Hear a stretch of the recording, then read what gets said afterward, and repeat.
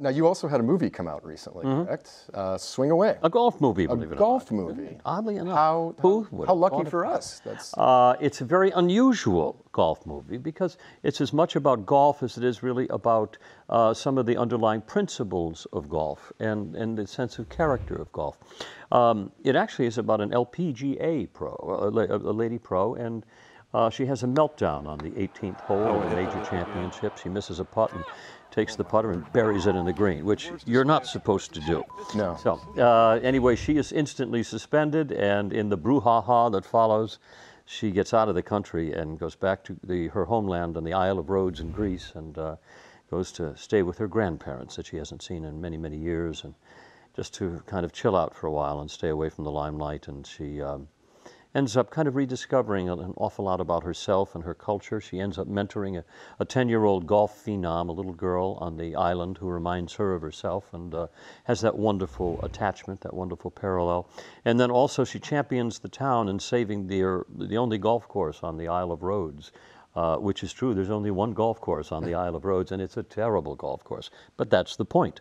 Gol- golfers are, or Greeks are not by their nature golfers. But uh, she saves the course from this um, uh, evil, I call him evil, um, American developer, overzealous and uh, kind of a bull in a china shop. No sense of the culture at all, just the deal. And he comes in and he owns the golf course and is turning it into a uh, kind of a theme park with a water, a, a themed water park, which is exactly what they, they don't need overlooking the Aegean Sea.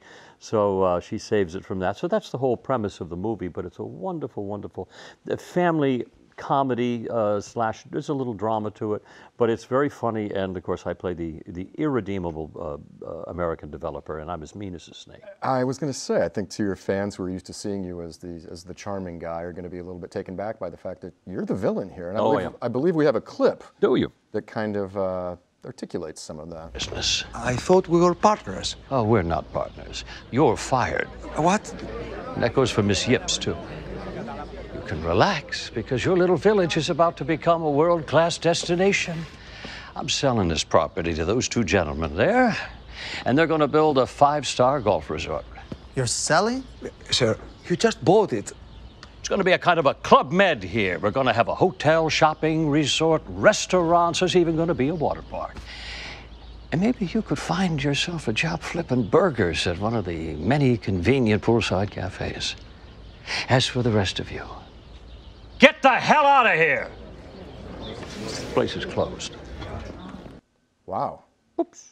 He slipped into that really natural. Oh, it's uh, uh, he's irrepressible, irredeemable, and I make no apologies for him. I, I love villains because you play them for what they are and not what they're. You don't try. I don't try to round the edges of them. I don't make them charming at all. He's. Did you have any inspiration or real? Uh, I created the role. Uh, basically, I said that the, none of that was scripted. Really, all of that was just um, basically. I just said to the director, I said, just let the camera roll. I speak more intelligently uh, about this type of a character than you'll ever write for me. So let me uh, just just let me use my it go. sardonic sense of humor, and uh, and and I'll get the points down as well.